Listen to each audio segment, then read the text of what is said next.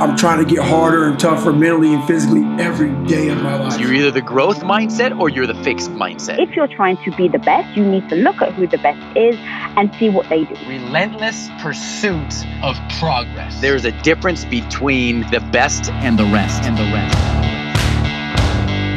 Welcome to the Brute Strength Podcast. Champions are built in the mind first. Where we interview scientists, world champions, doctors, and experts in just about every area of health and fitness. What do you care enough about? What are you fascinated enough about to go so deep and learn so much that you'll know more about it than anyone else? And now, here's your host, Michael Cazayoux.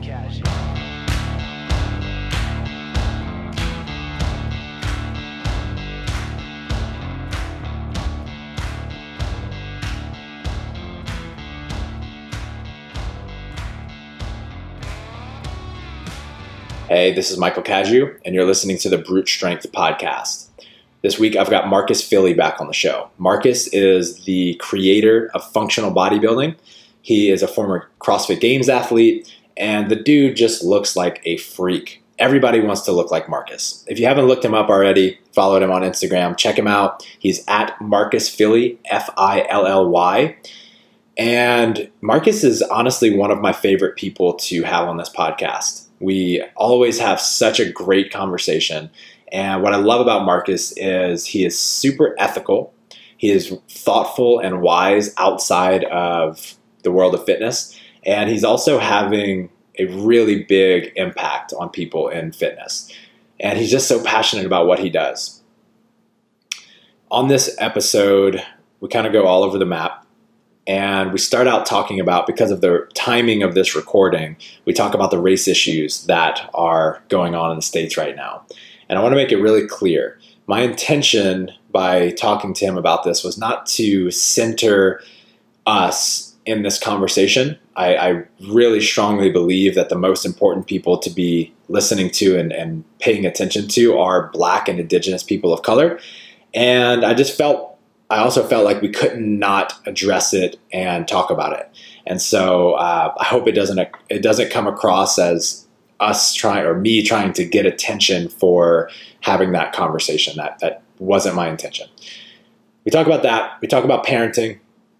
And because I'm about to have a baby, or by the time this comes out, I might already have one. And we talk about the thing that he and his wife do really well that no one is talking about. We talk about personal development exercises that have been most impactful for him lately, the practices that he most attributes to his growth. We talk about something he talks, he, a concept that he talks about a lot, which is working in versus working out. We talk about what's wildly different about him versus everyone else in the in the fitness industry, and I believe this to be true. And then lastly, we talk about what he believes it means to be a man. This was a real joy. Uh, I feel like I learned a lot, and I think you're going to love it. So without further ado, please help me welcome Marcus Filly. This episode is also brought to you by Jambo CBD. If you're not already on the CBD train, then I'm sure you've at least heard of it before because many people thought in the beginning that this was just a legal way to get high. And unfortunately, for some of you, you can't get high on CBD. You can try, but you can't get high on it. On the other hand, it can help you sleep better. It can reduce stress and anxiety. It can be huge for pain relief and reducing inflammation personally, I've had knee pain for about five years now, and I haven't been able to figure out a way to get rid of it. I haven't I haven't figured out the root cause. I've worked with PTs and chiropractors, and I just haven't been able to eradicate it.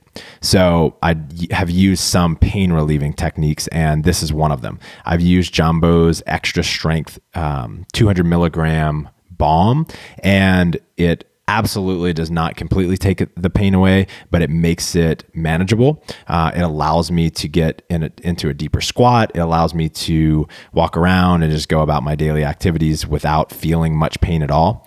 And whether that's placebo or not, I really don't care because I just don't feel like I'm in as much pain. I've also used their sprays, and there's a really subtle relaxing effect to the sprays.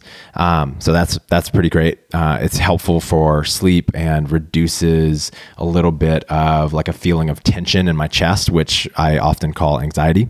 Uh, it's great for ath- athletes and recovery. And some specifics and what sets Jambo apart is that they have 100% natural ingredients, full spectrum CBD sourced from Colorado and Oregon.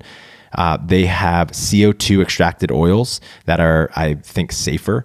Uh, they're they have therapeutic grade essential oils in a lot of their products, third party lab tested, so it's legit. And they're one of the first CBD companies to post their lab results publicly.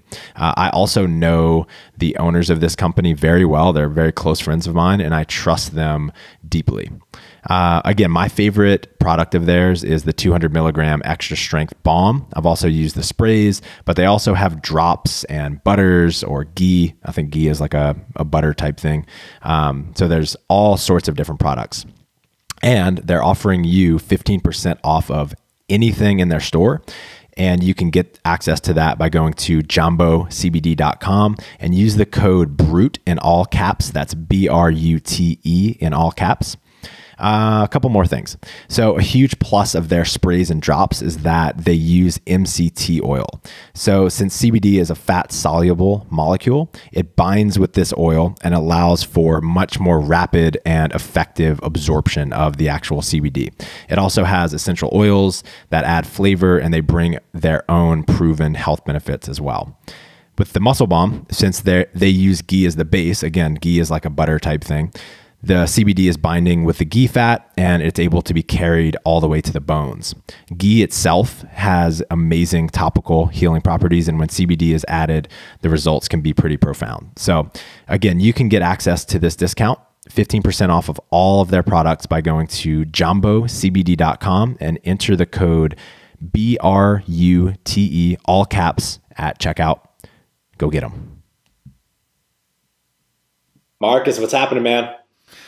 Just living the shelter in place life, man. I've got it. Go. I've got it dialed in after three months. yeah, man. Me too, dude. It's so good to have you back on the show.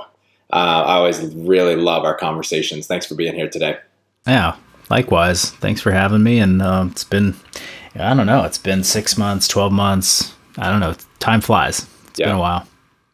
So I'd love to start out uh, with what's most present for you right now. What's what's really taking up the the most amount of your mental space and energy right now? Well, that is a yeah, it's a combination of uh, a number of things, but they're you know the the sequence of events in the last really three months have been COVID pandemic into um, you know George Floyd's murder and the the social uh, explosive movement that came that has come out of that that's been an undercurrent for decades and centuries really but has just the timing of what's happening in the world right now just catapulted it into everyone's uh, in this country's awareness in a way like it really I, i've not ever seen before um, into my own awareness like it's never been placed in front of me.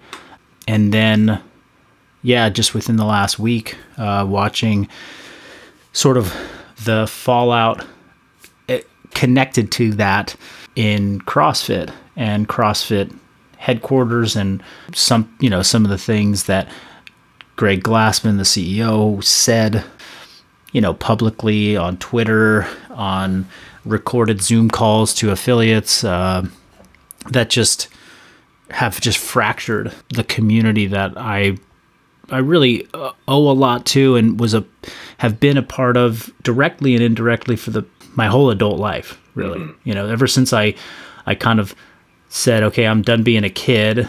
I got to figure out what I'm going to do. CrossFit's been this backbone that I've been a part of. So it's like this series of global and national events. They're all global events, really. have sort of like been like, well, there's this thing out there that doesn't impact me. It's you know COVID, right? Uh, it's not us. It's out in the other countries, right? It's in China. It's in Italy, and then it starts to creep and get closer to, you know, my life and um, all of these other events that have happened. I think as a result of the pressure and the stress that our country and the world has been under due to COVID have just, you know, gotten closer and closer and closer to home to now where it's like, you know, I'm I'm feeling the the issues that are at at hand that people are discussing right now are just like I'm involved. I'm intrinsically like, you know, a part of. And I can't say like, oh well that's just happening out there anymore. Yeah. Remind me, how, how old are your kids again? Three and a half and, and one and a half. Okay, gotcha. Um, I was talking to Sebastian Junger, who wrote Tribe earlier today, and we were talking about some like a really interesting part of COVID is that it is necessitating that we work together. But the difference now than any other natural disaster in our lifetime is that we have to work together by staying away from each other. Usually during natural disasters, uh, tsunamis, wars, people like almost automatically just come together and they gather and they really support each other. And right now, we're not able to do that. And I think that's why we're seeing the, the, the mental health, all kinds of mental health issues like going through the roof right now, which is super, super sad. Yeah, it is. And and at the same time, just in the past week, you've seen more social gatherings or political gatherings than I've ever seen in my lifetime too. Yeah. So yes. there's no social distancing happening when another cause that people feel more that they prioritize more deeply and they feel more connected to in a moment arises. Mm-hmm. So it, it, it's it's almost like yeah, like people want to come together to work against this thing that is maybe COVID. They can't, but here's an opportunity for them to come together for something else, and Mm-hmm. they take it immediately. So it's uh, and and you know who's to say that like that's wrong, you know? But at the same time, it's like there's still this pandemic happening, right? Like we're we're we're we're within the 14 day uh, kind of time span of when the biggest demonstrations really started and protests and riots. And so this is kind of this interesting time where we're like we're about to see okay, well what what did gatherings of tens of thousands, if not hundreds of thousands of people uh, do to impact kind of the spread of you know uh, this virus? What is the conversation around the racial inequality? What does that sound like in your household, in your business, and in your uh, physical community? What are, what are y'all talking about? If you're doing anything, what are you doing? Mm-hmm. Yeah, I feel really fortunate to be surrounded by some amazing like women that work in my in my business and my wife that work that, that the type of work that they do and the contribution to the work that I do helps to balance the perspective of a white man uh, to some degree. And I think the conversation that we all are having is this this is a time when we can absolutely be called to action to do something to be raise our consciousness raise our awareness uh, make some change donate some money um, i don't know do something in the in the short term. But what's really you know what we keep saying to one another is like okay well what are we going to be doing next month? What are we going to be doing next year? And what are we going to be doing five to ten years from now that honors what people are waking up to today and honors what has been out of the conversation for a long time. You know, I think everybody wants to be on the right side of what's happening right now. Not just to like save face and to look good, but because they really feel called to to take part. But I think it's very much human nature to say, okay, well there's problems, we fix them and then we move on. And I think I mean, I know the the problem of racial inequalities is not a it's not a fix that happens today, next week, next month, or even next year. It, it's probably decades of work that have to be done. And so, how do how how does something how big does something have to get to really catalyze this, you know, sequence of of change that's going to last for a while? Mm. And perhaps it's like getting people to put the right policymakers and uh, people in positions of power into place so that they it stays you know their principal focus for the next two years four years six years however long they might be in office or in a position to make change uh, ceos of companies uh, you know who are we putting into these you know positions to to actually see that we continue to make positive change and not just um, you know respond to what's happening in the news today. Right. Yeah, a lot of that really resonates with me. What what we're trying to do is avoid the knee jerk reaction of saying or doing something to look a certain way, which I see so much of. And I, I, get it. Like there's so much shaming going on in on the internet right now, which I think is is pushing people to say or do something just to avoid uh, humiliation or something like that, and that that doesn't seem to push us in the direction of a solution. Um, what's really present for me and us right now, and by the time this comes out, I'm sure we will have fully addressed this and be in, in action. But what's really present is in order to, and Adi shared this with me last night, in order to actually find a solution, we need to understand the problem. And until now, because I've been so privileged in my life, I have never looked into this.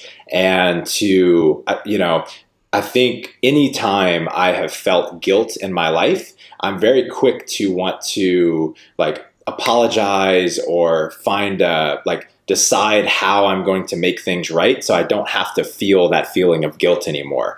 And I think, um, ne- you know, quote unquote, negative emotions, guilt being one of those challenging emotions, can be a really, really positive thing to just sit with sometimes because that's what can lead to action and can lead to change. And if we try to bypass those uncomfortable emotions and just look the other way and, and tell ourselves, oh, you know, I donated a thousand dollars to this cause. I'm good. I'm not a racist. Uh, I don't. I don't think anything gets done because that happens today but then what is what is happening in our lives a month from now a year from now in our businesses and our families uh, all of what you're saying? Yeah. I, I the you know there's uh, i'm paying so much attention to different channels and feeds on social media trying to broaden you know where i'm getting my news from rather than the same you know 20 accounts that just show up over and over again. And you know whether it's a, a quote or um, some some message that comes across like there are things that really jump out at me day after day what i saw yesterday was the uh, this quote and it was something i'll paraphrase but it was we're we're going to get we're going to f- start to fix the problem of racism when when white people stop seeing it as a black problem that they empathize with and they see it more as a white problem that they need to get in touch with and, and fix mm-hmm. and what i kind of took from that and what I'm hearing in you and what you just said is that there's not just learning about what this what's going on and what this is it's learning like what's the role that I play in it. Like by being unaware just silent not taking action looking at my own racial bias. My wife shared with me like a, a, a, you know an online test i forget what university put it together, but it was essentially like, what's your racial or ethnic bias, mm-hmm. implicit bias, you know, and there's like a, a long survey, there's a, a, kind of a test, a gamified test that you take at the end, and it says, oh, you have a moderate bias towards Caucasian or, you know, uh, European Americans, you have a bias towards African Americans or so forth. And, um, you know, it's, it's really having to just like look at those things, be like, okay, I, I, I have some intrinsic bias that I'm I'm maybe not I'm not aware of, but there are ways of investigating that, and it and you have to be okay. Like somebody has to say, oh, I'm I'm ready to get really uncomfortable to look at this and see where am I doing this in my day-to-day life? Where is this showing up without me knowing it? What are patterns that I might have? So, yeah, like uh, signing signing my coaches and our staff up for you know courses on racism and and, and activism and where are you where is this showing up in your life and understanding your own biases. That that kind of education within companies and within our company i think is the very first step that we're going to start to take that we want to start to take.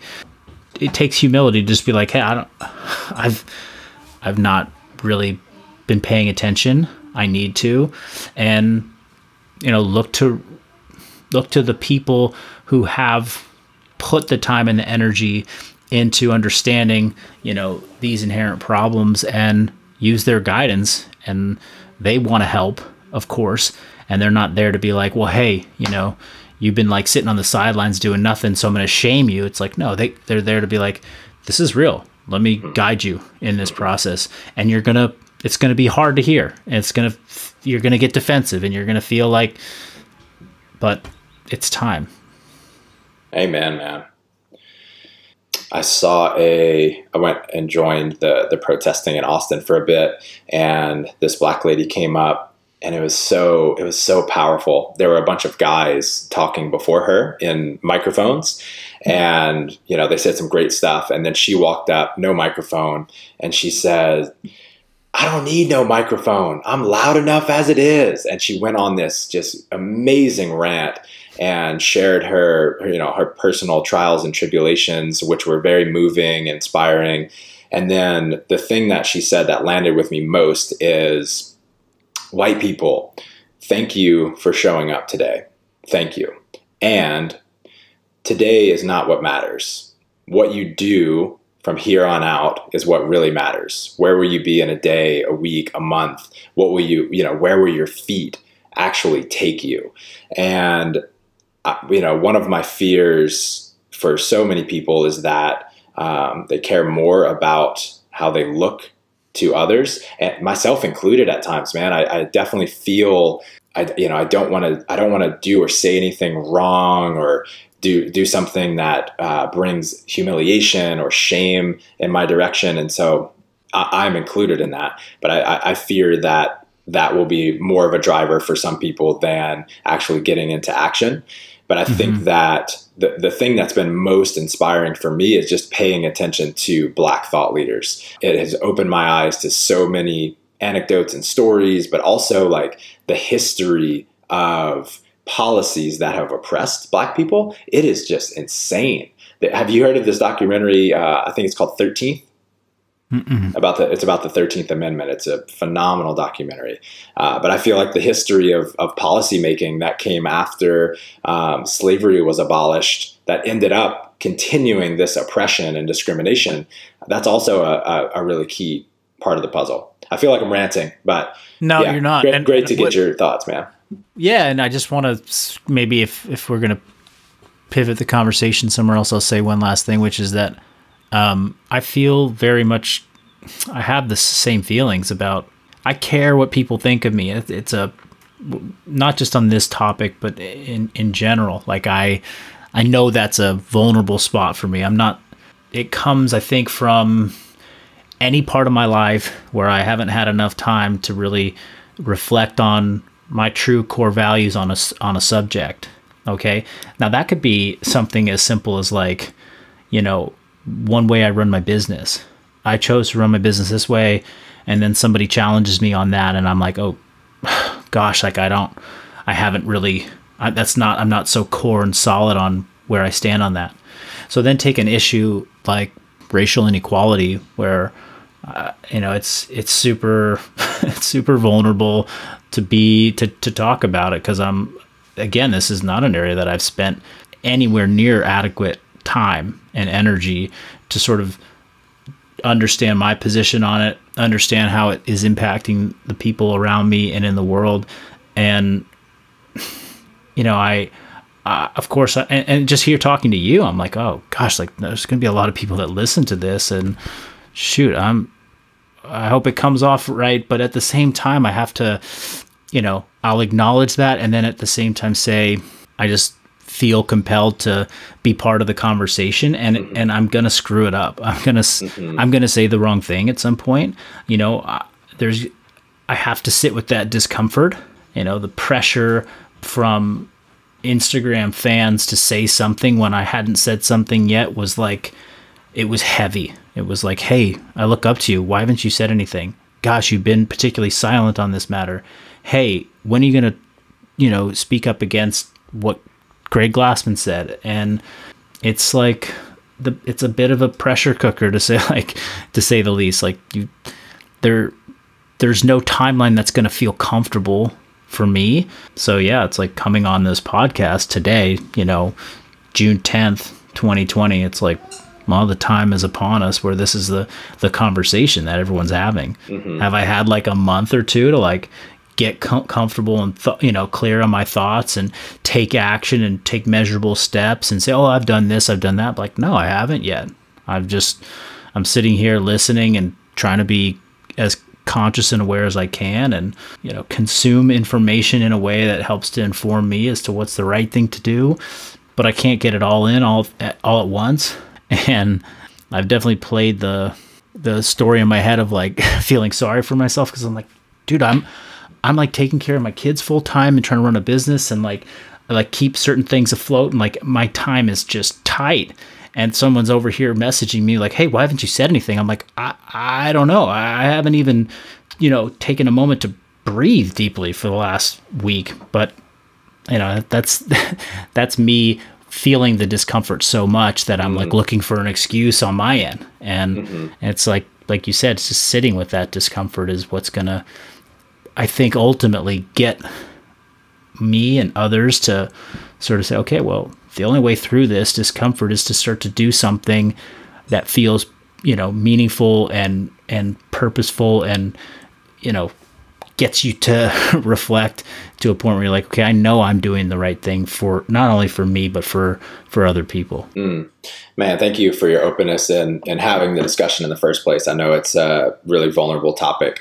And uh, another thing that you said that jumped out at me is you know you know you're to say things that are that some people take the wrong way you're going to mess it up. But that is it is so important that we're all a part of this conversation and we risk uh, doing it wrong you know because there's no way we're going to get this perfect. But just sitting out is um, is not part of the solution either. So i appreciate it. All right man. So i'm about to have a baby. You know this. By the, by, by the time this comes out uh, i'm sure that he'll already be here. But what uh, what are one or two things? And this is similar to the question I asked you right before we started. Uh, what are one or two things that you and Megan did that you don't really hear many people talking about? Things that you really knocked out of the park that you don't think many people are aware about or talk about. Yeah. So with regards to parenting, I would say that you know one thing we didn't talk about before we started recording and I guess people talk about this, but it doesn't get enough attention. It doesn't get enough priority.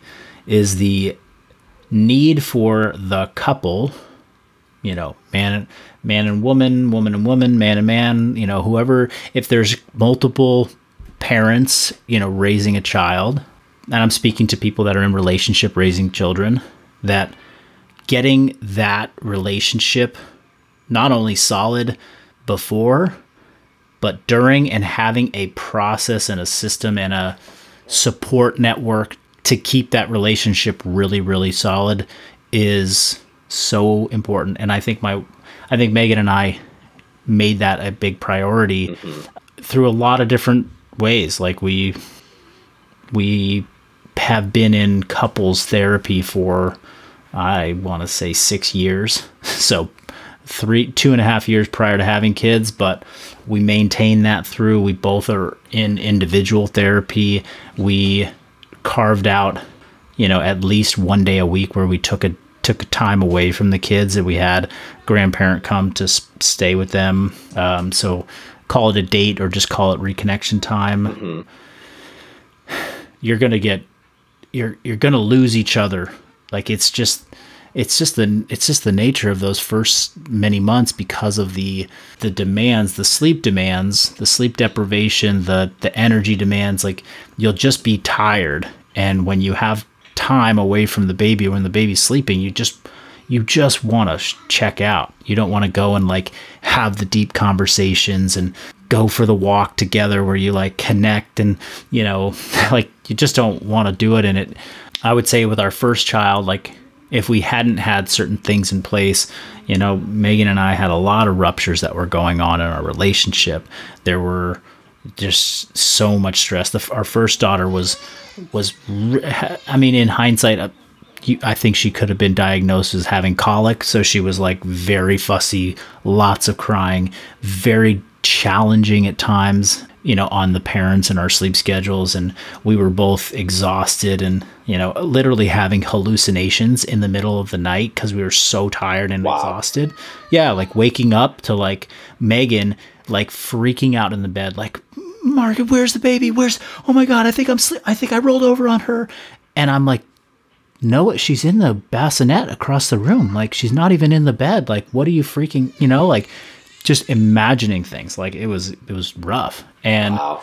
it also you know for for oftentimes for one of the parents they might take a bit more of the brunt of caring for the kid or maybe they have to take a step back from their profession or their their you know whatever they're passionate about to to care for that child. So like megan had to take a step back from being a therapist more so than i think she really wanted to or she did so she was like feeling disconnected for, from her career and what did she want to do with her career and just meanwhile i was like this was like right around when functional bodybuilding like really took off for me. So i was like passionate like excited about my work like things were going really well and she's just like at home like not seeing clients and just like what? Like this you know and that turns into tension yeah. in the relationship.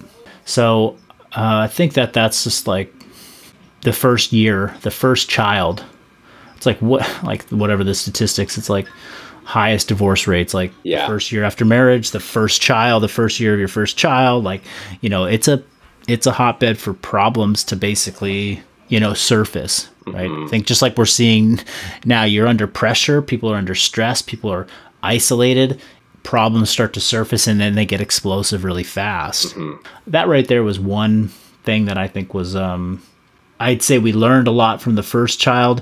We did much better with the second child, but we had a, system in place for that. And then the other one that, you know, you and I just we talked about was prioritizing the sleep of our kids and figuring out how to train them to sleep. You know, sleep training is something that people talk about and there's a lot of ways to do it and essentially it to me means getting your kids to learn how to soothe themselves and put themselves back to sleep. And that's something that is a very kind of touchy, delicate process with kids because they rely so much on the soothing of their parents from like day one. You're soothing them so much in those first few months, and you should, and that's how you develop these bonds. But then there becomes a time where kids can self soothe, and it's so hard on parents to like bridge, make that make that transition to letting them self soothe, which often looks like crying or having to, you know, quote unquote, cry themselves to sleep. But it's not like this barbaric thing where you're like, oh, you just close the door and you can cry for 10 hours and I'm not going to touch you. Um, it doesn't have to be that way, but there has to, there, there's going to be for anybody that tr- tries to sleep train, the majority, excuse me, the majority of people that try and sleep train, there's going to be a period of anywhere from 15 to 60 minutes where, you know, your heartstrings are going to be pulled like mm. like somebody is just trying to rip you apart and you're going to have to fight this urge to be like oh, I got to go protect this and just trust that this is best for everybody. And when I can and I can say that on the on the back end of having two kids that nap on a schedule, they go down and then they wake up at the same time most you know every night every morning. They sleep solidly through the night. The value that that brings to a relationship to their health their physical health to everyone's mental and emotional health is just so profound. And I can see it in other parents that I know that don't have that and haven't didn't make that the number one priority.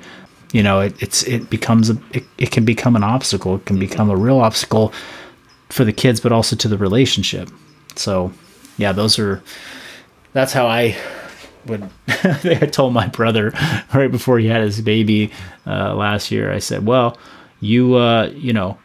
invest in a therapist right now so you can or some something like that and then you know get on this on the you know be ready to sleep train at this point and and he's yeah they're they're solid their baby their baby started like basically sleeping 10 hours at like 2 months i was like you lucky guy amazing yeah yeah it sounds like they're it, no matter what the no matter what the temperament of the parents, no matter what genes they have, babies just come out with different different temperaments, and you kind of just don't know what you're going to get.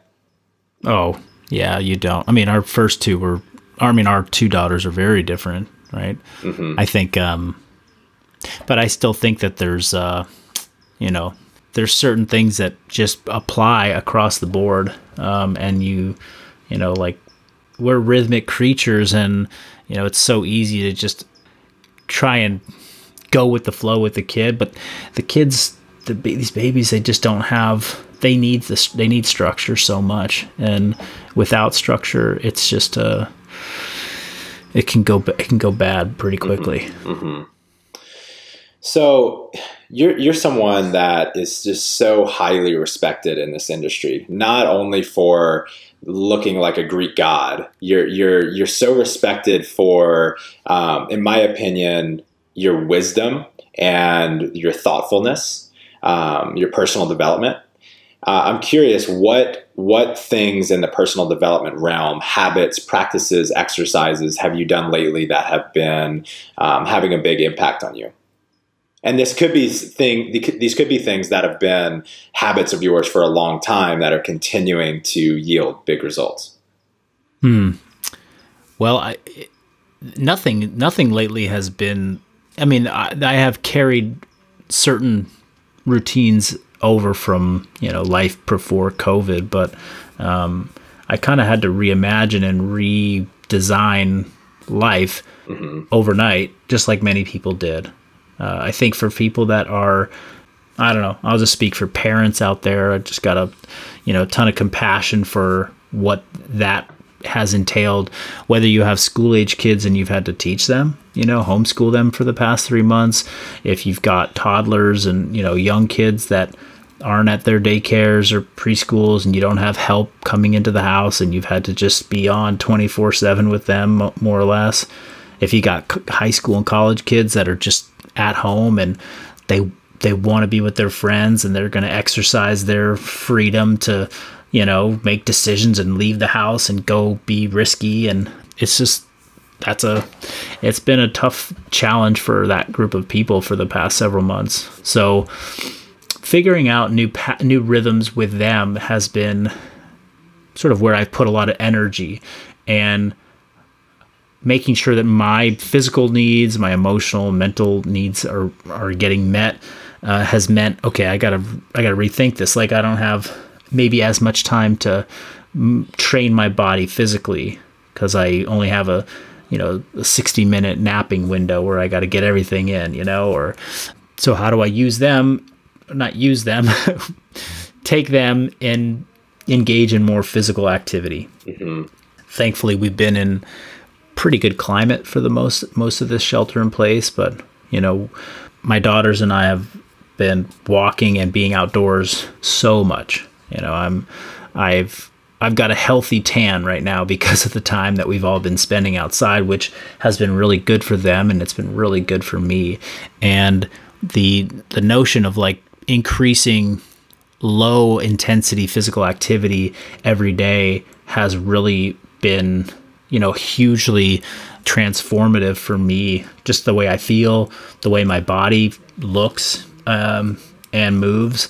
I used to be a guy that was like, okay, I'm I'm working hard, which means usually sitting at my desk most of the day. So when I train, I'm going to go hard too, so I can get a lot in. And now it's like my training is not super hard, but I'm also just moving a lot more. You know, I'll put my, I like track my steps and, you know, on a day where I don't even go for a walk with the kids, like I can log seven to 8,000 steps just kind of like running around the house with them and chasing after them. And, you know, the, the, picking up after them, which I'll curse most days because I'm like, I've cleaned this house four times today, and it's just as messy as it was when we woke up, you know.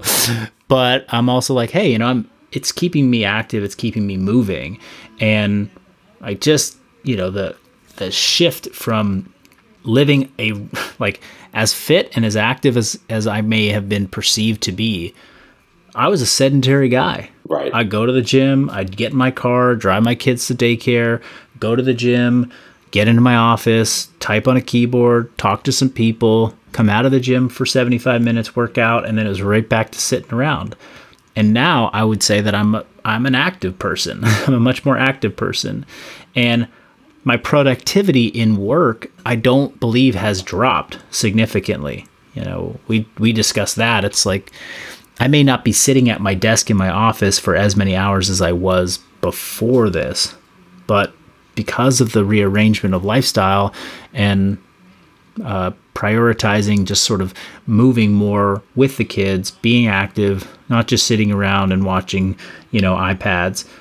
I think when I do get the time to sit at my office, I I'm focused. I crank on work. I get things done, and I'm moving more, which, you know, I I see people doing, and I see people in my neighborhood moving more than they've ever moved, and I think it's raising the the. I mean, it's certainly a start to, you know, improving the, the health of a lot of people. Yeah, I mean, it's basically a twenty four seven walkathon over here. Just totally. people constantly passing by our house, man. yeah. Yes. And people like looking each other in the eyes and smiling and really acknowledging each other. It's you know, we're just desperate for some sort of human connection. I know. And well, and that's the challenge with the mask for people that are are observing the mask wearing in public is that you don't you don't get to see the smile. Uh-huh. It's like it's just eyes. It's like, are they smiling? is, that, is that a serial killer or does he like me? I would say that my selfie my selfie game has improved dramatically because I don't have to worry about if my my smile looks just like ridiculous. I just you know, it's just all in the eyes and then the mask. That's nice. all they see. nice. That's what really matters too. Exactly. Yeah. so I was doing some research on all of the different programs that you have, and and one one theme that I saw, and correct me if I'm wrong, but you have your your program called Persist, and you talk a, a good bit about working in versus working out in relation to that program. Talk to me about that. Yeah, good research on that. I we actually launched so Persist was a program that I had kind of kicking around for a while, and it was uh, it was not something I put a lot of energy towards. Um, I don't know that it like it didn't to me it didn't stand out apart from the rest of like the pers- the programs that I had to offer. They all had kind of a very unique perspective. I mean, we've talked before about Awaken Training Series. Since then, I came out with something called Aerobic Bodybuilder. Um, we also had a functional body composition program, which was, you know, aerobic training was the aerobic bodybuilder, body composition, functional body composition. You know, these programs had a very clear perspective, and they all kind of uh, they all connect to the notion of functional bodybuilding, mixing functional training and bodybuilding. It was just how much are we going to sway one side to the next? But something that has always that has continued to always be present is like I'm actively investigating what it means to be a functional bodybuilder. What does it look like to use this as a training methodology for just sort of daily life and daily performance? You know, not necessarily like I'm not necessarily trying to put on 10 pounds of muscle. I'm not trying to like, you know, get ready for the open. I'm not trying to boost my aerobic engine. I'm just trying to use these tools that I believe are really viable for the general population to have fun, to stay safe, not burn myself out. And that has sort of become like this clear this clarity I have around persist as like our sort of our our subscription program. It's like, you know, join the persist like FBB persist movement to to really live and breathe and embody functional bodybuilding on a day to day. And that starts to then encompass not just working out, but like what are you doing to like work on yourself, you know, and work inward and and take time away from like movement to better yourself and and working. So work out work in. Uh, matter of fact i think it was first like you know the, the the the language around that was like presented to me by a guy who's uh putting together like a, a book he was like, man, we got to talk more about working in and more of like the personal development, the spiritual development, the things that, you know, are, are a foundation underneath which you build your physical capacities. Um, and if you don't have that, then when the physical stuff goes wrong, you're going to be kind of feeling lost and you're not going to have a, a you know, you're not going to feel grounded and you're not going to be able to kind of get through or persist through those obstacles. Mm-hmm. Um, so even in some of the early programs I wrote, you know, on a, on a Sunday, when people were taking a rest day. I took it as an opportunity to just like, you know, discuss a, you know, a, a fitness related topic, but something that maybe people wouldn't associate with getting abs. it's like, hey, did you did you uh, did you take time to connect with somebody that you know a close relationship or kind of an acquaintance that you haven't spoken to in a while? Like take 10 minutes to call a friend today and to just learn what's going on in their life. You know, that let that nurture you, let that heal you on your rest day so that Monday you show up and you feel kind of recharged by that. You're ready to get back into your training. So I have a work a work in exercise weekly for people looking at kind of well ex- exposing people to different you know different stuff that I see out there like on a on a day of the week where instead of like uh you know doing some traditional cool down stretching, you know, routine that somebody ha- might be very familiar seeing in the functional, you know, movement space. We're going to do breath work. You're going to lay on your back, you're going to put your legs up and you're going to do box breathing for 5 to 7 minutes. And that's that's also becoming more sort of well known and mainstream to some degree, but I'd say a lot of people just aren't they're not connected to their breath. They haven't even explored that. So it's this platform to say, okay, let's let's use functional bodybuilding, but let's explore all the parts that make, you know, for a, a well balanced approach to health and fitness for a long time. And yeah, we're still going to do the kettlebell, you know, rack, you know, lunges and curtsy squats and, you know, the Filly press and, and the stuff people have come to like about functional bodybuilding. But we're also going to kind of, you know, continue to build these really aware conscious athletes, people that are just moving through the health fitness life lifestyle. Superhumans, man. That's Kick right. Ass.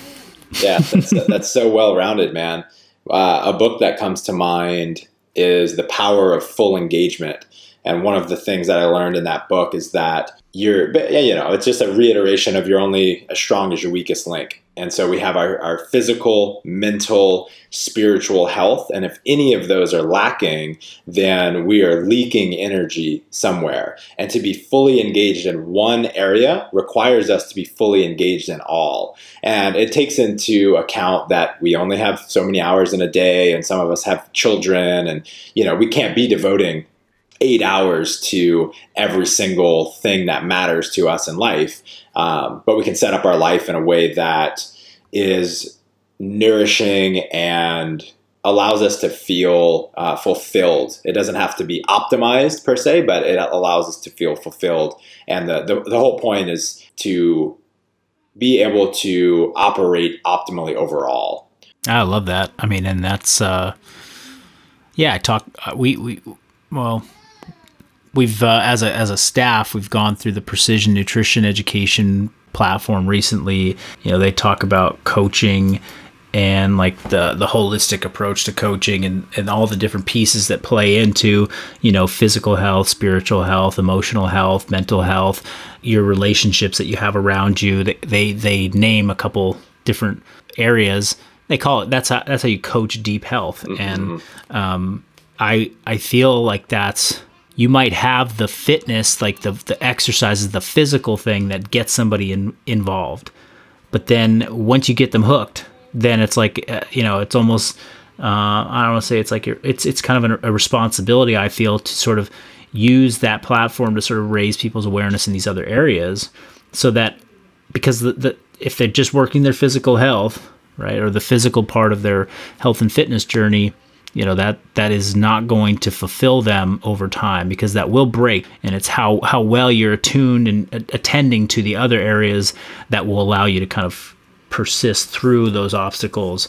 So i might have let's say we got 100 people doing persist there might be 10 that read the work in exercises and really connect to them but that's kind of okay. You know people are just they're going to come to that stuff when it, the time is right for them. And uh, they'll be open to it and you know the, the truth is that the vast majority of people that are engaging in buying fitness programs or even buying nutrition coaching are very singularly focused on like i just got to go and get my nutrition dialed and i'm good to go mm-hmm. it's like well you actually kind of have to look at like your you know your traumas from when you were a kid that's how we're actually going to get your nutrition dialed in but they're not ready to go into like the you know the the the, the psychology of what underlies their challenges of sticking to eating quality food you know 9 times out of 10 right? And and then somebody's I got to lose weight so I got to go get the workout. It's like well you have this really terrible relationship in your life that basically you know leads to self-sabotage on a monthly basis. And so you you stop your workout program every month. You have to restart one every month. So it's is it really a new exercise program that's going to So whatever you I, I and I've said this I think to, with you before. It's like use a variety of tools to get people in. If people are looking for workouts cuz that's what they think that's that's what they think they need, then sell them workouts. And then once they're bought in, you know, be ready to expand kind of their help them expand their view. Um, if you see it as a coach, if you know that's valuable, if you know that that's part of the process, that and you're just going to sell them a good workout and you're just going to sell them a good kettlebell flow, then you know you're not giving them the the fullness of what you have to offer. Mm-hmm. Yeah, you're missing you're, an opportunity for sure. Yeah, totally. What do you think is the most wildly different or unique thing about you in comparison to others in the fitness industry? I mean, I, I just, the deeper I go into this thing, and by this thing I mean functional bodybuilding, I, I've talked to some of my my friends and other influential people who do, you know, they have different platforms in fitness, and I just, I start to see that like the thing that I've really I've spent uh, close to 15 almost 20 years thinking in this framework of like I truly did want to look good. Like I I started out wanting to look good. I also fell in love with learning what my body was capable of doing. So let's call that performance or you know GPP. Mm-hmm. And and over the past like 10 years, I've really started to think more about how does this nurture my like like my purpose, my sense of purpose, like my soul, my spirit. I would say that oh, if I if I could have, and I, I've thought about this, if I could have said I've competed on stage in bodybuilding, and I competed on stage at the CrossFit Games, like the bodybuilding show in trunks or whatever, right? Is kind of like maybe the one thing that's not on my resume that would really round out this notion of like I'm I've really given the aesthetic side of this thing deep deep consideration and real work. I've given the performance side of this thing deep consideration and real work and I've I've done it I've done it to like high high levels. And I see that a very large group of people and I, I, I could get into a sort of an argument that's like the vast majority of people that want a taste of both. Mm. But to do either one to the fullest, you have to neglect the other side. But nobody wants to do it to the fullest. Mm. Nobody wants to get on stage, and nobody wants to go to the CrossFit Games. I mean, there's a few people, right? But it's like it's it's just these margins of yeah. society. Well, I assume when you say want it, you mean they don't want it and back it up with their actions. Like if they really wanted it, they would devote and sacrifice so much more in their life to actually go and Oh. get it. Oh, sure. Yeah, yeah, yeah. It's uh They think they Um, want it. I think less and less there are people that think they want the the, the big stuff up Uh-huh. there, the the CrossFit games. They want to do a local comp. Well, I don't think I don't. Is does that exist anymore? Do the CrossFit Games exist? I'm just kidding. I th- I think I think it's debatable whether that will actually what's going to happen with that. but uh, it's funny, yeah. Like I, I'll get people that still ask me, like, I want to go to regionals. I'm like, you know, those don't exist anymore. wow, wow. yeah. Um. Anyhow, that was a side note, but yeah, it's like they don't back it up with their actions. But I think what what I mean by that is that they jump onto the training plan that is designed to get the person to the pinnacle, mm-hmm. but they don't really want to go to the the you know the peak of that. Yeah. So they're just getting kind of sucked into this current of like train train twice a day, five, six days a week with super high intensity and, and challenging volume. And it's like, but you don't want to, you, you don't really want to go to the games. Like you don't, that, you never said that. You're just doing that because that's this model of what's, in, it's there. So I don't know. I, I kind of continue to feel like I, I'm uniquely positioned in the middle of these two, these two areas.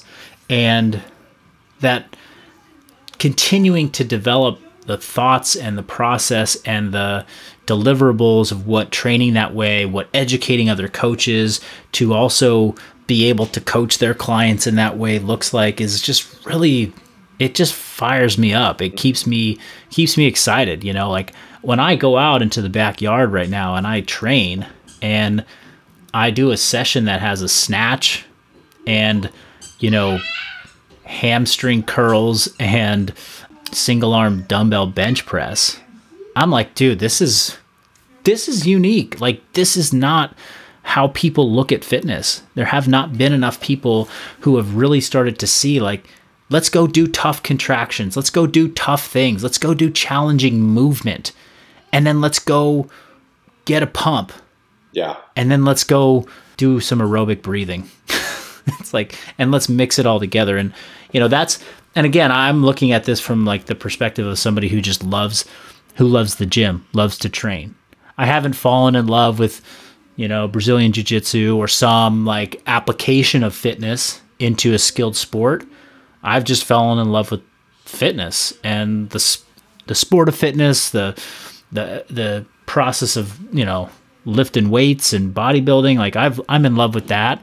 And i think a lot of people love that stuff you know and they they haven't connected to a martial art or they haven't connected to a recreational sport but they connect to to moving weights and and expressing their body physically And within the context of that, for people that are deeply in love with that, that really resonates with them. I also appreciate how much it seems like you pay attention to longevity and being comfortable and healthy in this meat suit that is going to take you through the rest of your life.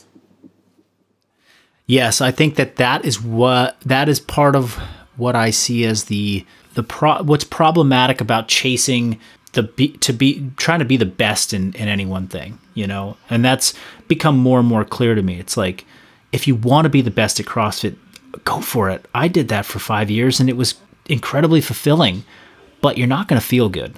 And if you feel good, you're not doing it the best that you can. you're like if you feel chipper right. every day. Yeah, you're not if you wake up and you're like this feels great, like you're either 20 and you just like recover amazingly or you're not doing it right, you know?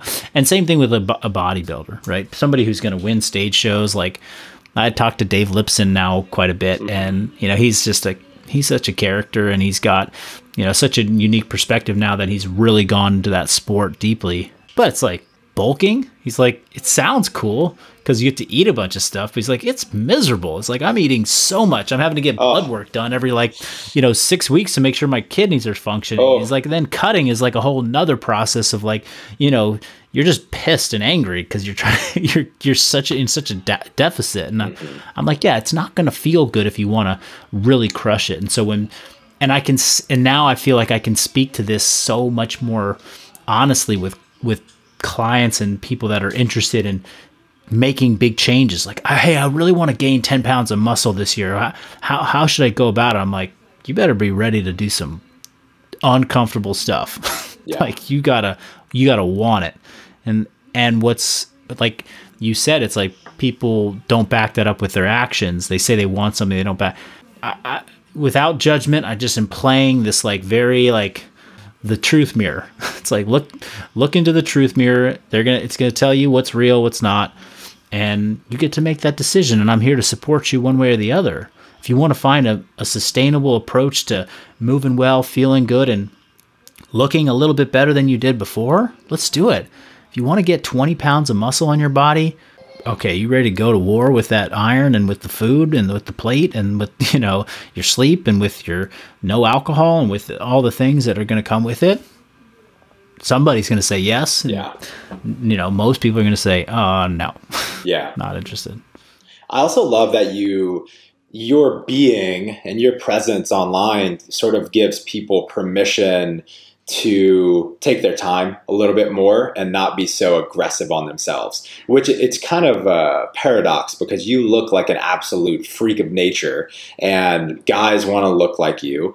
And yet the way that you speak to them gives them permission to i don't know loosen their grip on their goals a little bit and just take their time and stay focused for the long haul which in the end i think will allow them to get more of their reach more of their goals yeah, well, I'm. Thanks for saying that. I'm glad that that's a, that's a perception of, that people can have of me and, and, how I present online, and you know something that uh, when I turned 35 this year, I really was able to say like I went to the gym for the first time when I was 15 years old. Like that was really when I started to go to the gym. So I I got two decades of doing this thing, and that just seems like such a you know that's such a milestone and it's like, hey Marcus, like how did you how did you build your muscle? And I'm like, well, I started when I was 15 and I'm 35 now, hmm. and I you know and barring like a, a one to two one or two like three month periods in my life, I've not really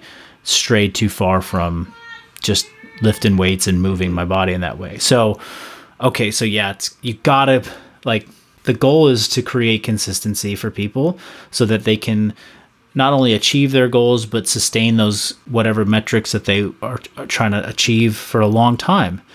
The only way you can create enough consistency for somebody to get there is with a program that keeps sustainability in mind, with a program that keeps them interested and excited, right?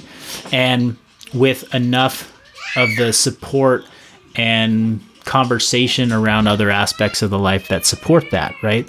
So that's that's what we all have to be doing. And uh, you know, again, another conversation I had this morning was like the person who's uh, you know uh, a leader of a pretty prominent fitness brand, and they're like, you know, hey, I'm I'm more or less like a fitness agnostic. Like I don't really care what you end up doing, as long as you do it safely.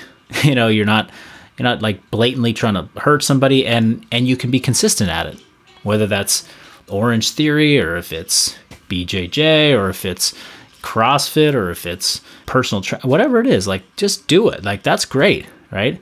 And uh, I feel the same way. It's like I, I want people to be consistent. I feel like we have a, a system and a method and, and an approach that works for a lot of people to stay consistent and to stay engaged and to have fun and not burden themselves out after a few months. But uh, I'm not closed off to other ideas, and I'll keep can I'll continue to think about oh how do we how do we continue to deliver that for a long time. Mm.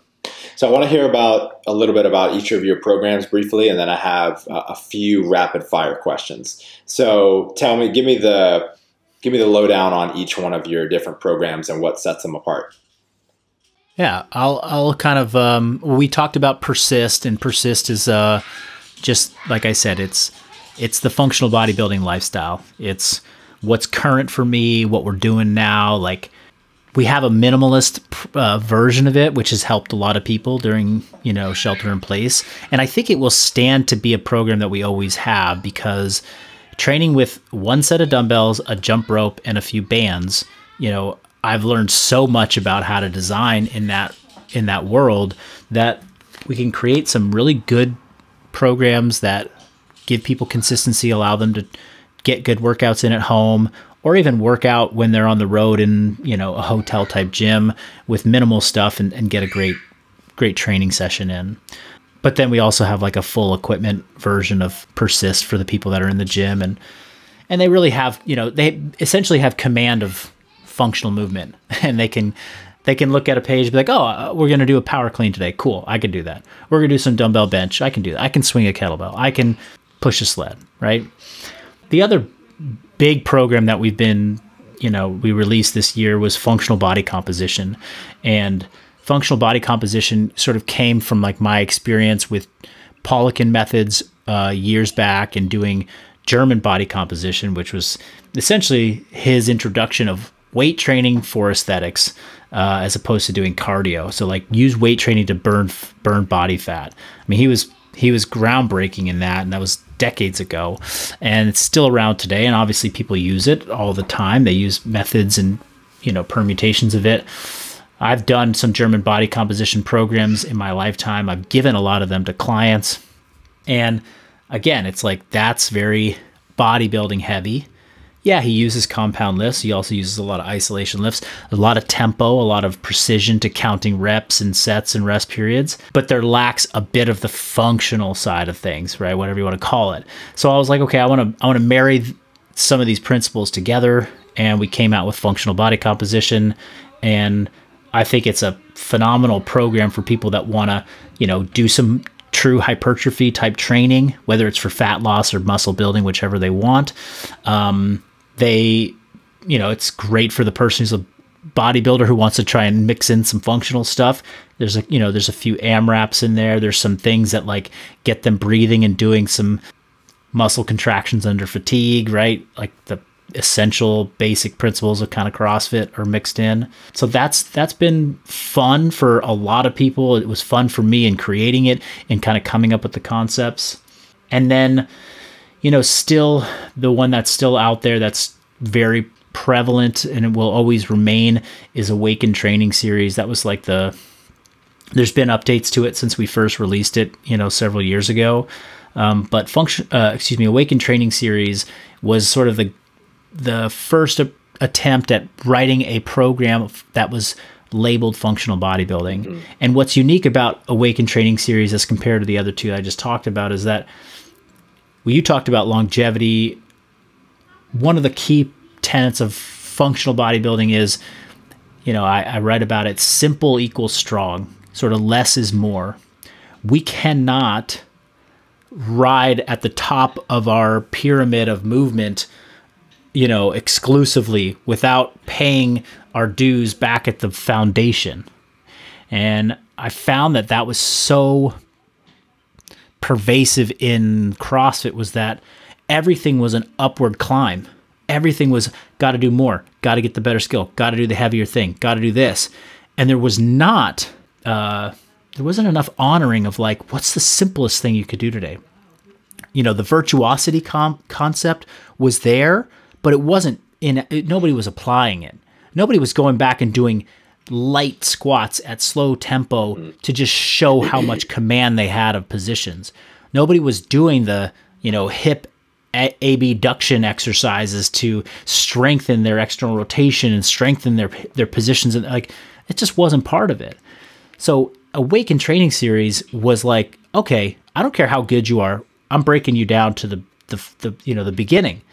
And the reason I did that was because that's what I did. Mm-hmm. That's exactly what I did. I was 12th fittest in the world, and I went right back to doing lateral band walks, landmine presses, bottoms up kettlebell carries, tempo squats, and aerobic work.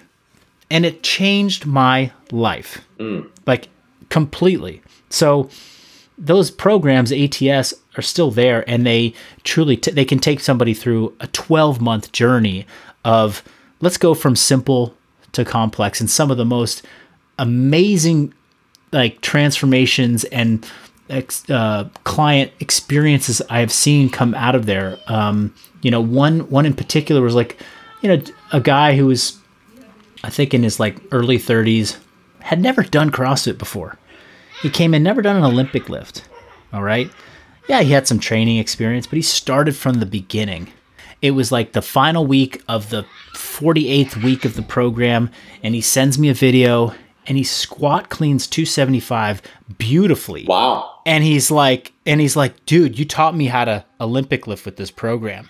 And I'm like, what? Like, I mean, we start with like, you know, clean pulls and muscle cleans and we build our way there. But, you know, a squat clean doesn't come into the program until like week 43 or something Wow. like that. So I was just like, I mean, it gives me kind of goosebumps to think about that, you know, when you truly are ready to commit to a process mm-hmm. and you have a system in place that will help you build that is thoughtful and takes a progressive approach that you could do amazing things, right? But as you know, not everyone's ready to commit to a long-term process. They want to start with, "Hey, I want to just do something for 6 weeks or 8 weeks," right? I want to just maybe I'll jump in the subscription, I'll try it for a few and then I'll back out, right? And that's fine. I got that. I got persist. I got functional body composition for you. If you're ready to like dive in and like you want to, you know, I want to go through the the journey. Awaken Training Series is still, it's still a beautiful, you know, path to take. Bad ass, dude. That, that, that fires me up, man. Cool. So I have a few rapid fires. Uh, they don't have to be rapid answers, but just answer these however you want. Finish these uh, sentence stems. Being a man means Doing my absolute best to to see the world through the eyes of my the three women in my house. like it's uh I was I am truly blessed to have two daughters. Like I don't I don't think I was meant to have a son. I needed to be surrounded by feminine energy or or women um and they have their own masculine energy, but just needing to see see life through a different through the through a different lens for sure. amen. I am I am you know my first my first the first thing that came to mind was I am and then I was I was going to fill it in with an action like I am trying to do something. And I just catch myself cuz uh, that that's not about I am. That's like I'm doing this or that whatever whatever. Um I don't know. It's I am I think I I feel like right now it's like I am learning. That's it. I'm just I'm like or I'm open or I'm I'm receptive, you know. Uh my wife kind of reflected back to me in some of our work together that I think whether it was just part of my upbringing or how I was praised as a kid for certain aspects of like certain things I did well, think I I will always kind of be pulled back to feeling like it's it's hard for me to not know stuff. Like I feel a lot of shame in not knowing the answer, or not being right, or not you know doing something wrong, and uh, um, I am working that in my life now to be more open and like I, I don't know everything. I, it's okay for me to not know right now because I'm just I'm just open. And there's such freedom in that. There, yeah, yeah, there can be. Yeah, I'm working on that. And lastly, I believe I believe that everything that's happening right now is supposed to be happening. Yeah. Yeah, I agree too, man. And I think, um, yeah, I believe in our country, and I believe in our ability to to rise to the occasion and to change. Marcus, thank you, brother. You're the man. This has been great. Thanks a lot, Michael. Yeah, dude. So um, let's see. You're at Marcus Filly, I believe, on Instagram. That's right. M A R C U S F I L L Y. And then what, what is your website? Revival-strength.com. And so, if you're a man or woman listening to this show and you want to get into the absolute best shape of your life and also level up your consciousness and live longer and be happier, go check them out. Thanks a lot, brother. Thanks. Thank you. Thank you for listening to this week's episode. Your journey towards better fitness continues. Head over to brutestrengthtraining.com to connect with Michael and his guests. Access links and resources mentioned in this episode, as well as bonus content exclusive to podcast listeners. That's brutestrengthtraining.com.